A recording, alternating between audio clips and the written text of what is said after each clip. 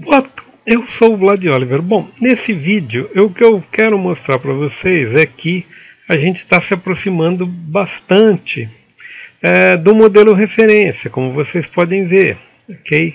No see-through aqui eu vejo que eu estou precisando fazer a parte do bumbum, ok?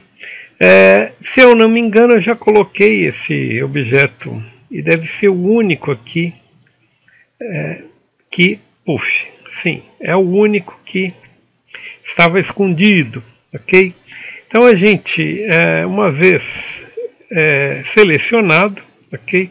Vou dar um Shift S para tirar o, o, a visão que nos atrapalha um pouco aqui, que é uma visão do, do inferno, ou seja, o, a redinha aqui, os poligons, eles atrapalham um pouco para a gente visualizar o que quer ver aqui. Como vocês é, devem ter prestado atenção ali, o bumbum é uma coisa mais ou menos assim. É bem uma. É, a gente levanta ele um pouco até aqui, ok? E ele até tem uma conformação aqui mais.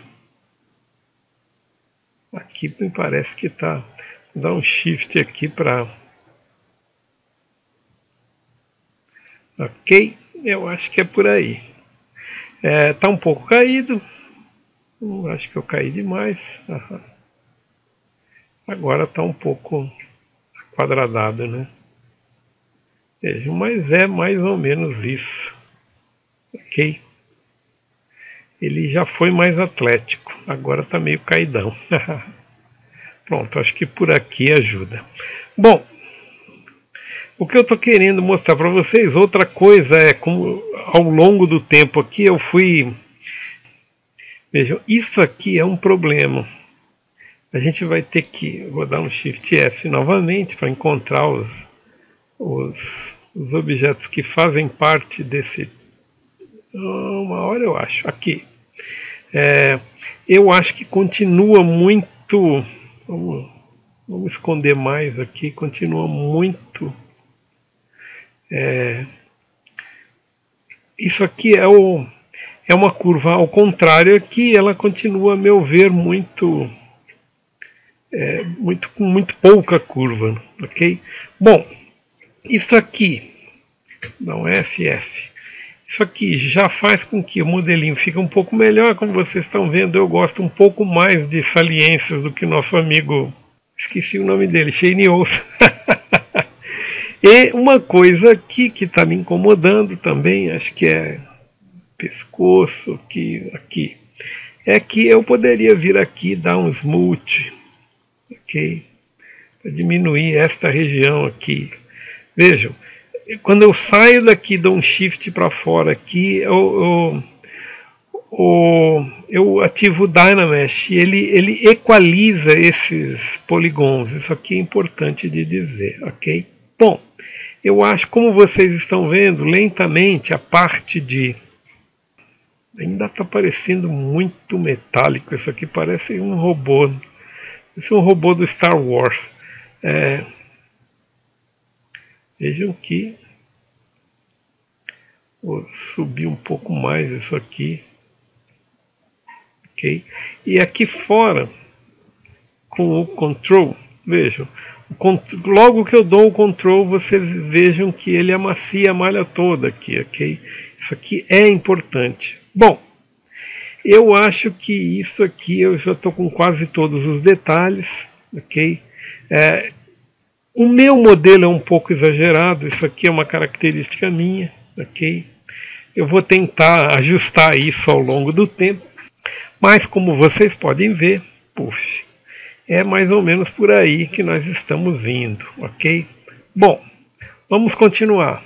Vejam que nosso amigo Shane Olson, ele, ele utiliza aqui, ó, opa, tuf, é, acho que é por aqui, é, isso aqui eu tô com a minha mão aqui assim, ok? Se eu der um Alt, é, muito provavelmente não, aqui. É, vou dar um Alt para e tiro o Alt para ampliar bastante aqui, Move, ok? Para a gente ver aqui, se true, ver o que, que ele faz. é, tá até maior ainda, ok? Como vocês podem ver, os dentinhos aqui estão tão grandes e eu preciso transformar isso aqui num dedo. ok? Como é que ele faz isso? Ele faz isso ajustando essa, ajustando essa pega aqui e transformando o objeto como vocês estão vendo. Ok? Então como é que é que faz isso? Bom, basicamente como eu estou com o Move Topological, vou aumentar um pouco mais aqui, Move ok? Esses dedos estão gordinhos, como vocês podem ver, e eu não estou com eles selecionados. Vou ter que achá-los, onde é que eles estão. Tuf, tuf, tuf, tuf, aqui. Passei. Mais um, puff. Então, eu posso até dar um Shift F, se eu não quiser, para poder ver isso aqui melhor. Ele desce isso aqui, ok? Pronto, acho que só isto já ajuda a ser um belo dedão ok? Vejam, como eu expliquei, ele usa o dedo do meio aqui para que a gente tenha uma linha, uma linha contínua aqui. E depois ele vai duplicar. Esta etapa de duplicação que vocês vão me xingar muito, ok? Porque eu não sei fazer. Eu percebi aqui um troço, mas eu não consegui ainda. Veja, transpose all selection subtools ou transpose só aquele que a gente quer. Ainda não é.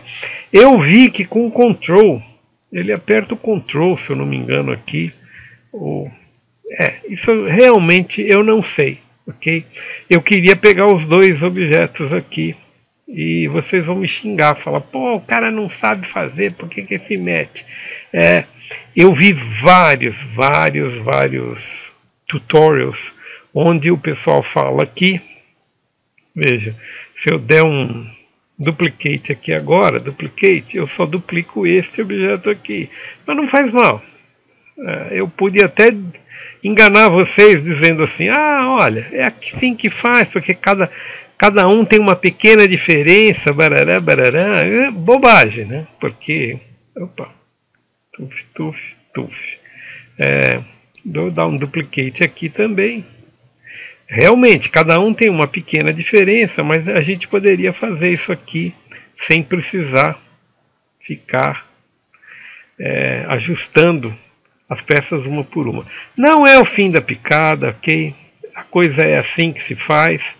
E eu preciso até olhar direito, vou dar um FF, é, se eu estou fazendo o segundo dedo, o dedo de trás ou o da frente. Então qualquer um vai ser menor, ok? Mas é isso por enquanto. Bom, vocês já entenderam onde a gente vai chegar. Falta uma bolinha aqui, falta uma bolinha no joelho e, e o nosso a nossa blocagem vai estar completa assim que a gente fizer mão, etc, etc.